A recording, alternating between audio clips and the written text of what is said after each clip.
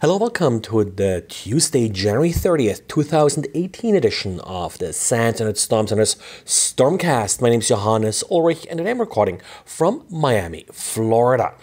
Sort of the theme of today's podcast is insecurities in security products. We do have a number of them to report about today, starting with Lenovo's implementation of its fingerprint scanner. Biometrics in laptops has been around for a while, and one of the companies that actually, I think, sort of pioneered this somewhat was Lenovo, or actually back in the IBM ThinkPad days. Fingerprint scanners were quite common accessories. More recently, Lenovo introduced Fingerprint Manager Pro. The application implements a password safe and allows users to log into websites and log into Windows by scanning a fingerprint. Sadly, the password safe is implemented quite poorly.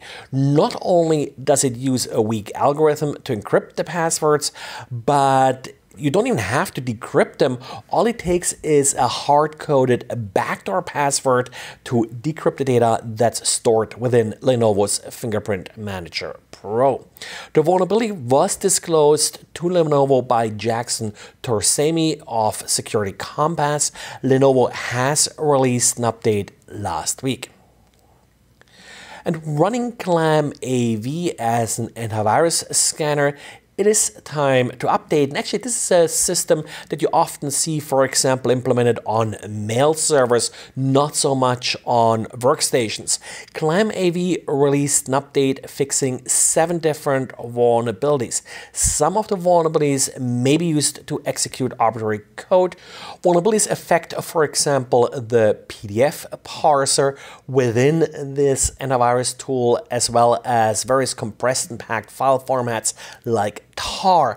These kind of vulnerabilities are quite common in anti-malware products. Anti-malware products often have to do the same difficult thing that the software has to do that they're trying to protect. They need to decode these complex file formats and of course applications struggle with that. Over the last few years, I believe most antivirus products had similar problems where they had, for example, buffer overflows and the like when they were trying to decompress or decode various files. And well, apparently Malwarebytes and other anti-malware engine that you typically do see on desktops had similar problems.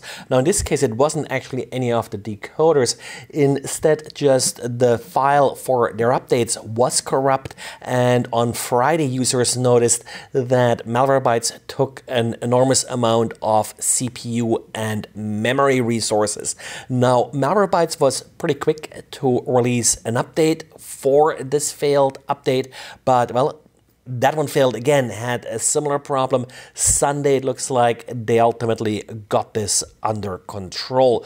According to Malwarebytes, this was really just a malformed update that wasn't parsed correctly by the client, and as a result, well, you had these memory issues.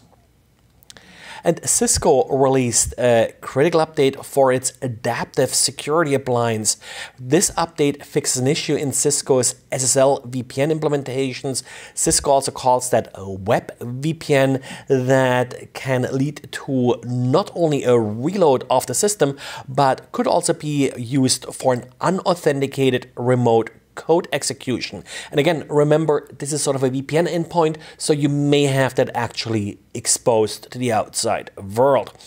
The vulnerability also affects Cisco's firepower devices, and uh, please refer to the advisory for an authoritative list of affected devices. There number of different models that are affected by this.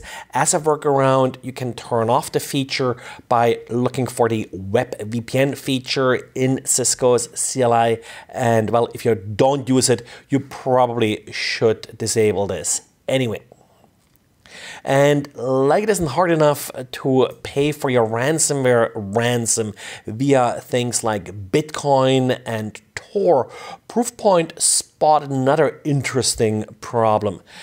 If you prefer not to install Tor yourself, then you can use one of the various web gateways that proxy connections from regular browsers to Tor. One of the more popular gateways, and apparently it's the number one when you're searching for these type of gateways on Google, is Tor to Web at onion.top. Proofpoint noticed that this particular gateway altered Bitcoin addresses used to pay for ransomware. And as a result, the ransom is then deposited into the wrong Bitcoin wallet. Not the wallet the ransom was supposed to deposit to, and of course, the victim loses twice here. It was actually the ransomware writers that apparently first spotted this problem and Proofpoint then noticed how some ransomware specifically warned users not to use onion.top because well uh, they apparently had lost some of these ransom payments as a result of this Bitcoin address swapping done by onion.top.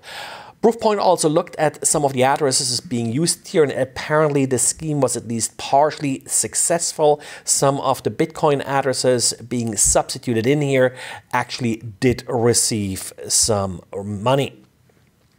Well, and that's it for today. Thanks and for listening, and talk to you again tomorrow. Bye.